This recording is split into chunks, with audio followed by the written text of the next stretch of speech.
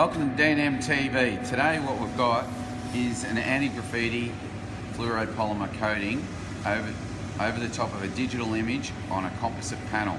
So that means you can get any image you like printed on a composite panel and then we put the uh, clear coat over the top and what that does, it gives it a really long life expectancy.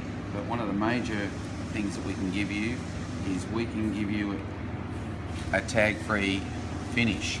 So here's my graffiti spills. D&M was here. And a smiley face. So this is a standard permanent marker. This works the same with spray enamel, spray can enamels, all that sort of stuff.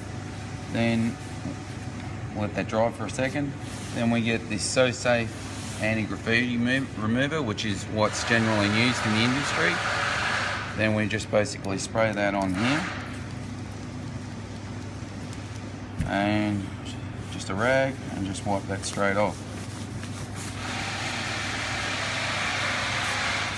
And then you've recovered your panel.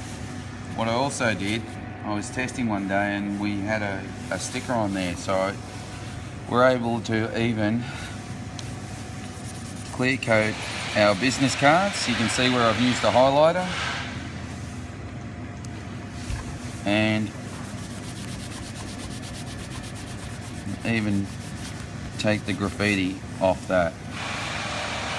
So uh, have a look at it. Hopefully if you've got any questions, contact me at D&M at dnmauto.com.au and I'll be able to answer any of your questions. Thanks very much.